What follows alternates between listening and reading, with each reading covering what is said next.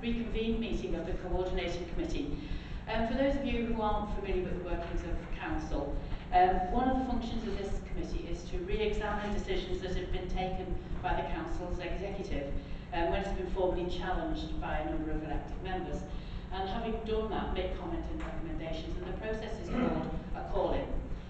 Um, and the decision that's been called in tonight, um, and which we're going to look at, relates to um, a recommendation report on the review of leisure services, charging in leisure facilities, which went to Cabinet on the 7th of July. And the particular area of concern for the signatories of the call-in is uh, relates to changes in the concession scheme currently available to past and present members of the regular and territorial armed forces. Um, at this point, I think it might be helpful if everybody around this part of the table were to identify themselves. And I'm Councillor Moira McLaughlin, and I'm Chair of the Coordinating Committee.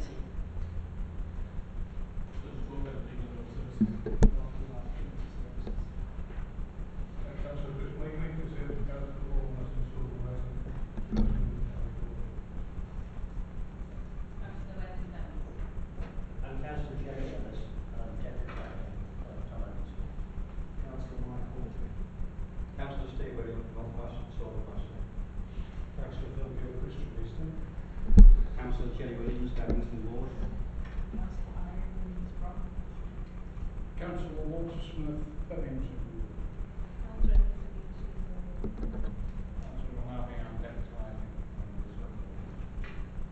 Councillor Harry Smith, Bidston and St James Ward. Councillor Jim Crouchy, same Ward Councillor Paul Darcy, Prenton Ward, and the Vice Chair for this committee. Michael Lester, Scrutium. Joe Foster, Strategic Manager. Thanks very much, everybody. Um, have we got apologies for absence? And there are a number.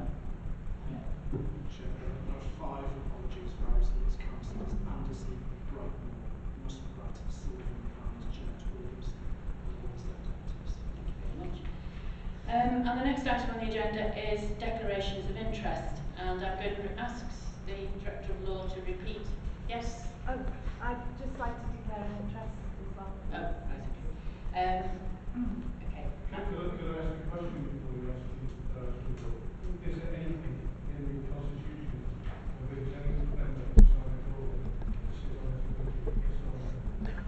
Well, the advice I was going to ask the Director of Law to repeat is the advice he gave at the start of the first meeting, and would you like to do that, I was please? finding yes or no. Yes, thank you, Chair. Uh, through the Chair, the calling notice requires six members to support it. Um, and obviously we received that. The calling um, confirmed to members believe that the executive decision requires further review and consideration, and the calling process allows that for, allows that to happen. The calling itself does not confirm a member's member's settled view on the subject matter in question. So could I repeat the question, please, Chair? Yes or no, is there anything in the constitution that says a member of sign a law that cannot sit on it? Yes or no? Through you, Chair, the Constitution does not uh, confirm that a member uh, who signs a calling cannot sit on the committee. So that's a no. So the answer is no. Thank you. Much surges. And can I ask um, that all members declare that they haven't been subject to the party whip? Have you all consensus agree to that? Thank you.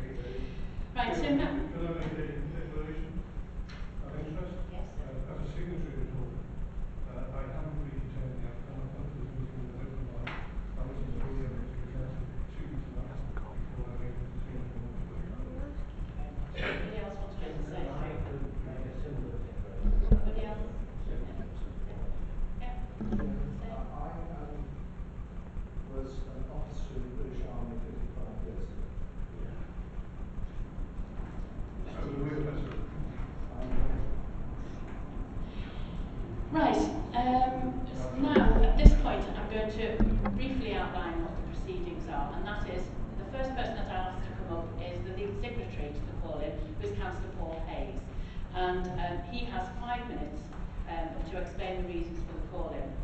Following that, I'll ask the Cabinet member, who's got the responsibility for leisure services, Councillor Speed, to come up and explain the reasons in the first instance for making the decision. And she also will have five minutes. And following on from that, we'll start to look at the witnesses and what they have to say. So, Councillor Hayes, would you like to come forward and take a seat? And can I say, Paul, you've got five minutes, and when you're a minute before you have to say, I'll just indicate with my pen that you've got a minute left, that's okay. Thanks very much. Thanks, and thank you for the entire committee for the time this evening. I know this is an increasingly busy committee, so I do appreciate the time you are affording this very important issue this evening. Uh, so obviously I'm asking you to scrutinise the decision of the Cabinet more closely, and that being the decision which was made on the 7th of July.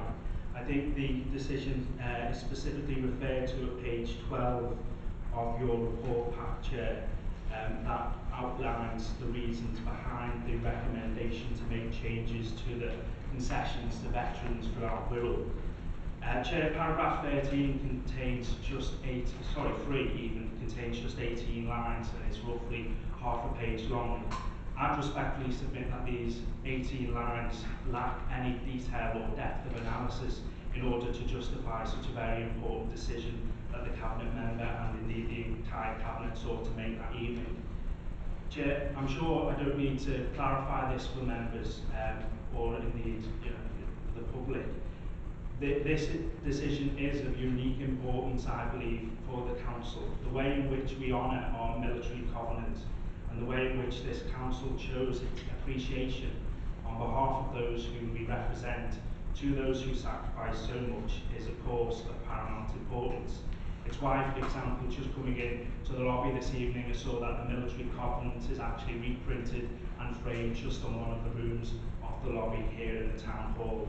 And it's why we all look as the local members to observe and to officiate uh, celebrations and remembrance days such as Armed Forces Day and, of course, um, Armistice Day as well. Chair, the debt we owe to those who serve and who have served is unquantifiable and stands incapable of satisfaction.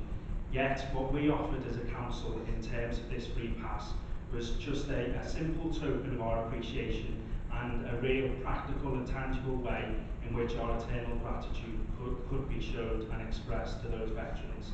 Yet, Chair, in those 18 lines which I previously referred to, this token offered once in a spirit of sincere goodwill is now strangled in regulation, bureaucracy and restriction. I've attempted to uncover exactly why this decision was made. On the face of the report, there is no clear rationale and none was forthcoming in the five minutes it took Cabinet to debate the matter when it came before the Cabinet in July. The decision also came following a meeting of the Families and Wellbeing Performance and Policy Committee, a meeting I know you chair, uh, chair which was held last December, during which the Strategic Director, in response to questioning by me, and I can quote verbatim, thanks to our good friend John Brace, who I think is behind me, she said, certainly the armed forces is something the Council has been very clear on, and then she says something inaudible, followed by, we want to make sure that this is carried forward. So how then, Chair, has this clarity of thought previously presented by the Strategic Director now been replaced with confusion and restriction? The committee should know that I've met with the strategic director together with other officers and the answers are still yet, yet somewhat confused. Apparently there were anticipated abuses which, which the proposed scheme now before us sought to eradicate. Then much later on I was given what I feel is the primary motivator behind this decision, that there is a potential estimate, and stress estimate saving to the council of £50,000 per annum.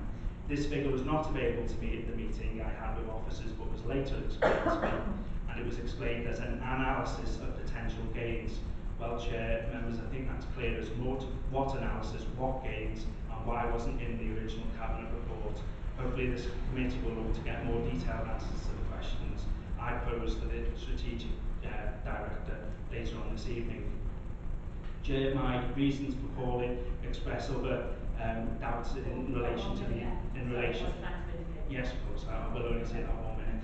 Um, the, the reasons I give for the calling are fairly self-evident and are published in the report, specifically in terms of how those with a psychological injury, um, the psychological injuries I'm sure many of you will understand by their very nature, mean that most who, or some indeed, who suffer from them are not disposed to disclosing the fact that they suffer from that illness. How is the um, council going to administer that? Why should we force veterans to disclose that they are injured in such a way?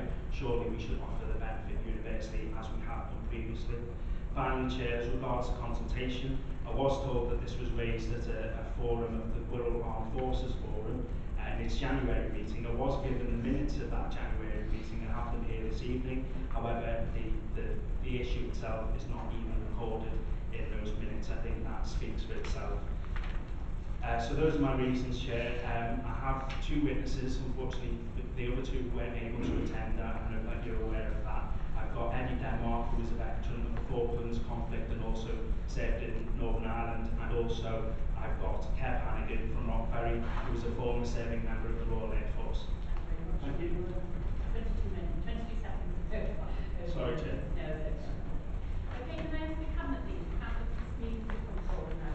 and, um, Give the reasons for the decision in the first place. And again, uh, Chris, you've got five minutes. Uh, And before I'll I, indicate when you, you're. just before I start, um, my personal interest is that my daughter was in the army. She was in the Royal Signals. She now actually lives abroad. So that was my personal interest. And on the advice of the solicitor, I felt obliged to say that. Thank you. Um, thank you for this. Um, can I start by saying I have the highest regard for those current and former members of the armed forces and utmost respect for the work that they do. For the fact that my daughter was in an ex-regular army, having served in the Royal Signals. I recognise this is an emotive area, which there are many strongly views, and any change will cause concern. The decision to revise and target the concession for these courageous people is about ensuring that it is fair and equitable, affordable, and that those who can afford to pay should be able to pay. We want to stop the abuse that is currently happening, and which I am sure when the Council made its original commitment did not intend this to happen. I'd like to give you a little bit of background to the process. September 2013, Cabinet received a report which provided the findings of the review of leisure operations, which included all leisure centres, including our golf courses. The report was written in the context of the Council's very difficult financial position, the fact that the service has to find very challenging budget reductions of 2 million over two years, which equates to 40% of its operating subsidy, and that leisure is a non-statutory service and therefore needs to evidence it is operating as effectively and efficiently as it can, whilst ensuring that those who can pay should pay and that there is an affordable pricing structure with concessions targeted at those for whom price is a real barrier. The review found that operating costs were high and levels of income being generated was low. Therefore, subsidy costs were high. The review also found that the membership package included a very generous concessionary pricing which was having a negative imp- impact on the service's ability to maximise income. Further subsequent work led to the report to Cabinet on the 7th of July, when a number of proposals were put forward with the aim of modernising the programme concessions. the paper stuck together, sorry.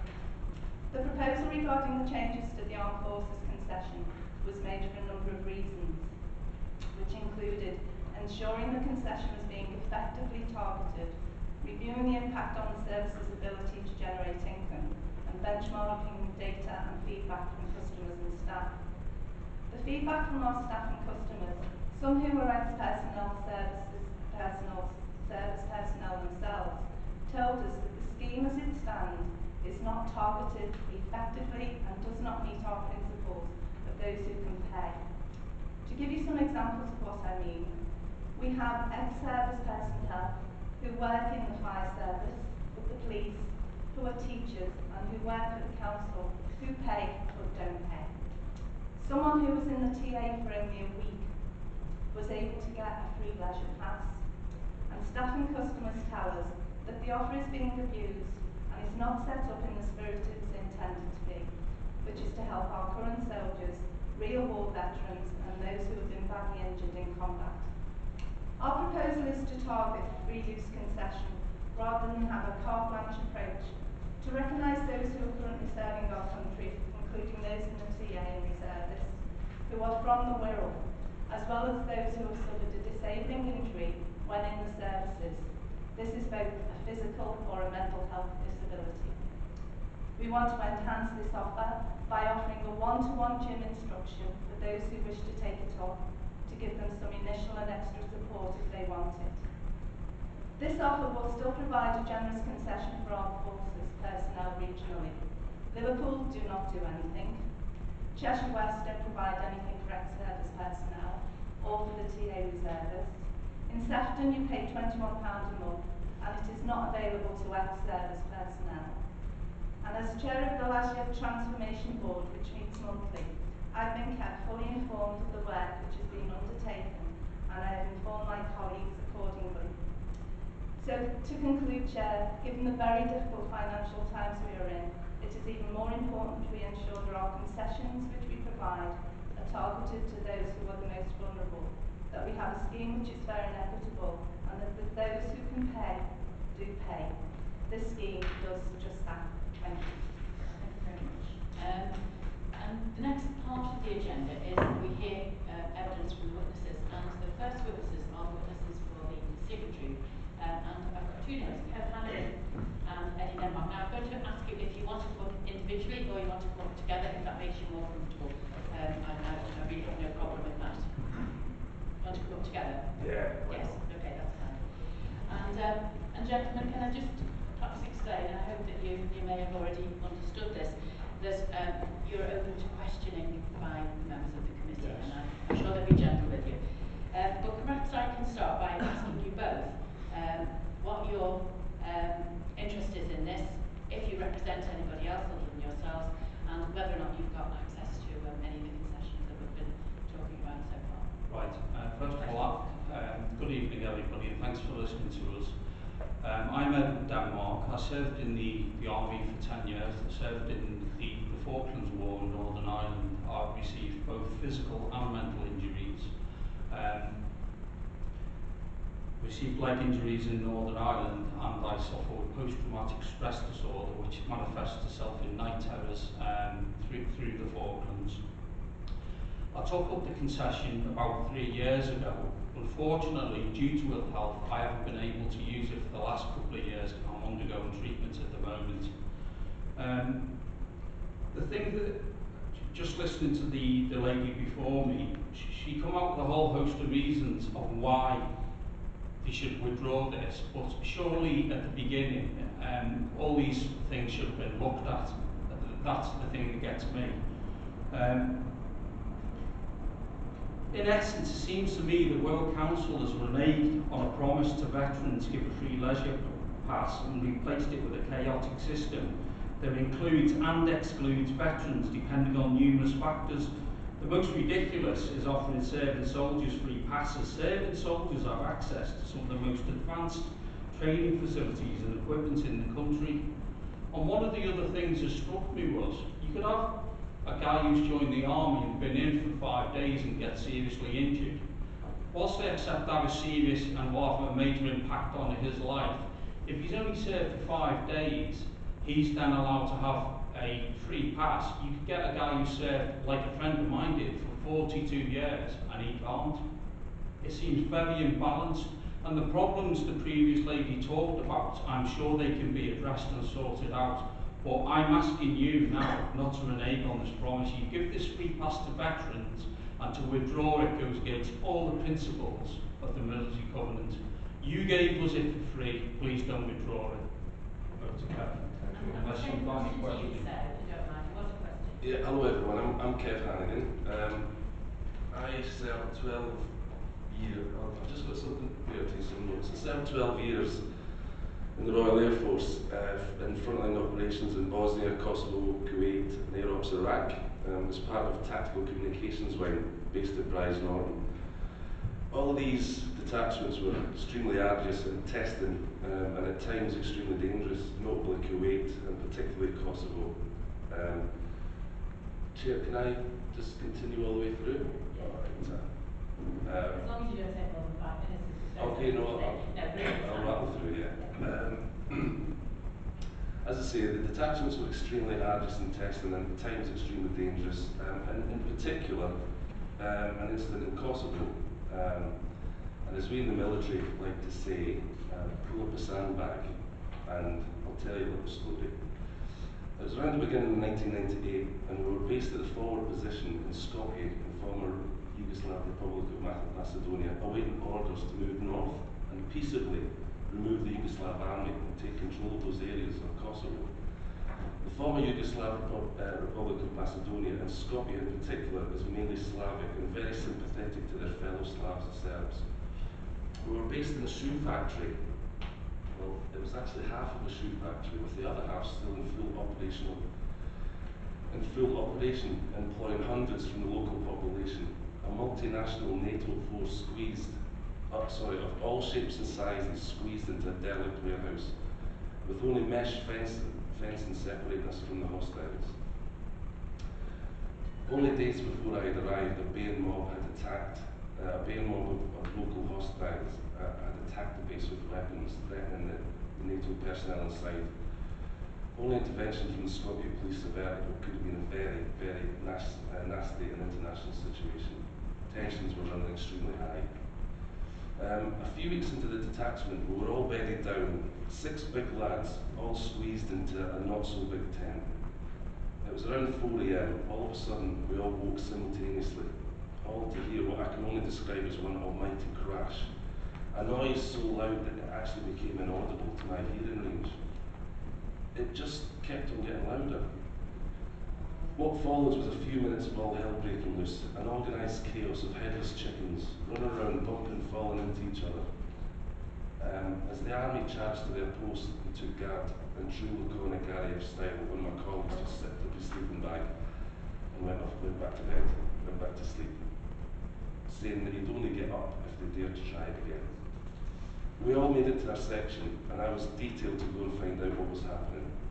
I wandered down to the police point to see a rather grey and gaunt-looking military policeman standing outside his post, sucking on a cigarette like it was his last. I asked him what, what had happened and if he was okay, um, and he told us that it was one of those RAF TCW Land Rovers that had been blown up, only metres from the police post, and that he had been on the desk when it went off. So even around half an hour later, he was still trembling and shaking. He pointed me to his sergeant, who took me to, to view the wreckage, and there was our Land Rover. Where, there, where our Land Rover had been, was a still smouldering carcass of a wagon. Um, and with, with the damage to vehicles around. In the debrief, we found out the reason why we'd all woken up that night was down to the shock shockwave hitting us. The amount of explosives used varied between three and five pounds of Semtex. The perpetrators were an organisation called the Macedonian Dawn. But what really struck with me that night was that our Land Rover had only been parked up 35 minutes previously uh, by one of my colleagues on the night shift.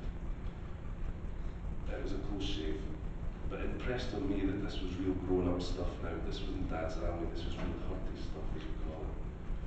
So anyway, just I just wanted to just give a little, little example of, uh, you know, I, I, I have got Absolutely understand that you're trying to explain your experiences in the alcohol society. We've all understood that. That's cool. Can I just add one thing? Um, Yeah, I think other members of the committee would like to ask you some questions. okay, well very quickly, if you go outside there and you look on the post um, war list of names, there's 17 Wirral sons died. 17 of them. Are we really the right people you want to start saving money with? That's all I can say. Okay, thank you. Okay, Anybody um, else would like to ask you a question?